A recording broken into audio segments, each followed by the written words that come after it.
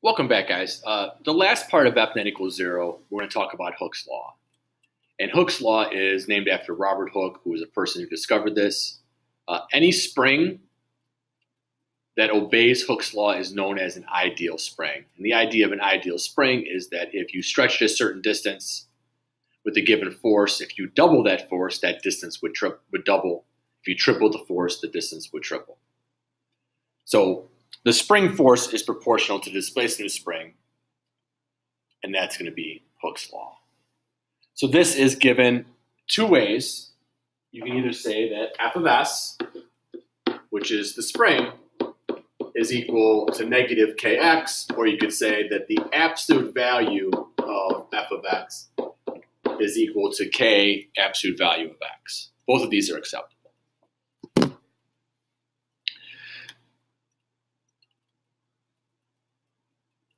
So the reason why it is negative, if I have a horizontal spring and I stretch it a distance x, I exert a positive force on it to pull it to the right. The spring itself is going to try to pull back to the left.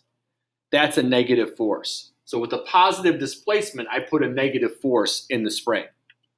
If I compress it, I'm pushing it to the left that's a negative displacement. Now, in the spring, there's a positive force going back.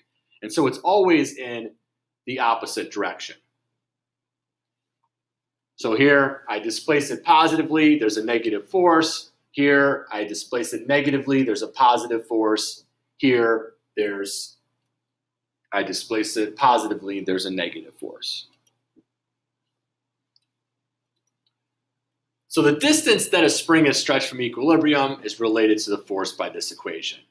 The units for this K, which is going to be unique to every spring, our spring force constant is newtons per meter. So K is going to be F of S over X. A spring is stretched from rest by a 10 Newton force of 10 centimeters. Find the spring constant K how far will a 25 Newton force stretch the spring? So these are easy. So I'm going to say that the absolute value of f of s is equal to k, absolute value x. So k is going to be equal to absolute value f of s over x. So this is going to be 10 newtons over 0.1 meters for our little k. And k is very often just a generic constant all throughout science. We use that. So it's 100 newtons per meter. And so the question is, how far will a 25 newton force stretch the spring? So how far is a distance question, not a displacement question. So I'm going to divide both sides by k. I get that 25 newtons over 100 newtons per meter is going to give me a 0.25 meter stretch. And that's probably what you thought. If 10 newtons stretches at 10 centimeters, you'd expect 25 newtons to stretch it 25 centimeters.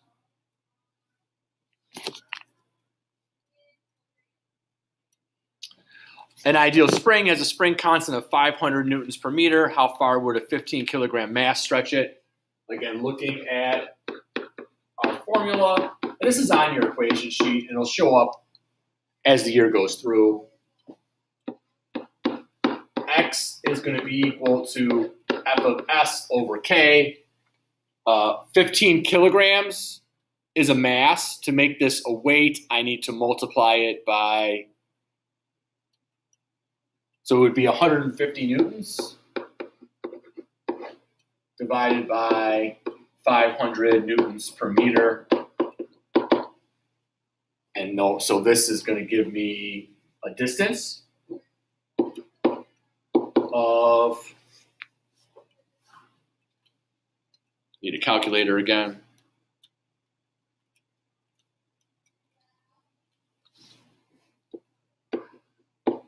30 centimeters, 0.3 meters.